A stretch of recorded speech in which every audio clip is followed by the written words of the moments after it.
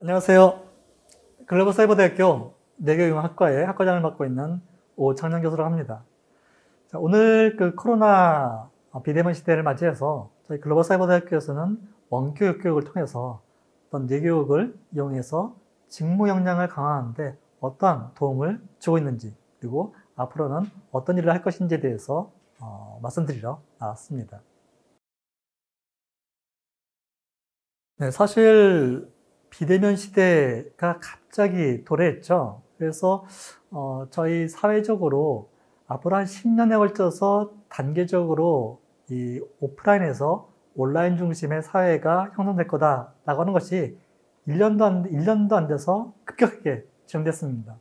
그래서 사실은 오프라인 대학에서도 그동안 10년, 20년 동안 쌓아온 사이버 대학의 온라인 교육의 노하우, 온라인 교육 컨텐츠 개발의 노하우에 대해서 관심을 가지고 저에게 도움을 요청하고 있는 현실이거든요.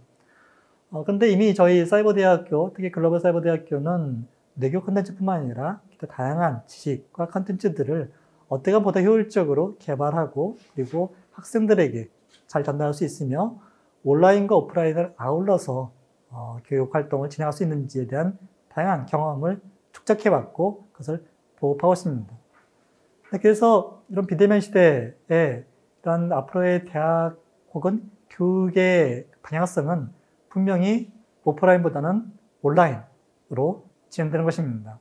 하지만 어떻게 하면 보다 학습의 효과를, 학습의 능률을 올릴지에 대해서는 아, 많은 고민과 연구들이 필요하겠다, 필요하다고 할 수 있겠습니다.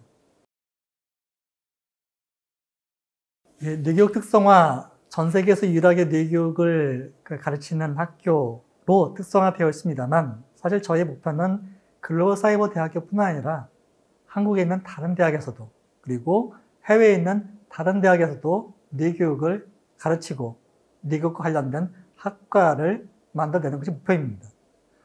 올해는 저희 뇌교육을 처음으로 영어 버전으로 개발해서 어, 인도네시아에 있는 비누스 대학의 뇌교육 컨텐츠를 보급하고 있는데요. 그래서 실제 2학기에 비누스 대학의 학생들은 저희 뇌교육 K 명상 과목을 수강하고 있습니다.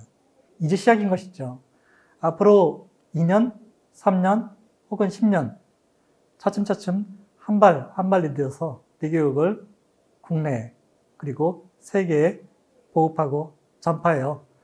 어, 저희 뇌교육학과를 졸업한 학생들이 국내뿐만 아니라 해외 나가서 BTS처럼 한국말로 뇌교육을 전수하고 가르칠 수 있는 그런 시대를 앞당기기 위해서 노력하겠습니다.